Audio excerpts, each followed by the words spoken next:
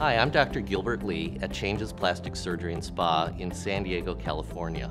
I specialize in aesthetic plastic surgery. I'm thrilled to offer Bellafill in my practice.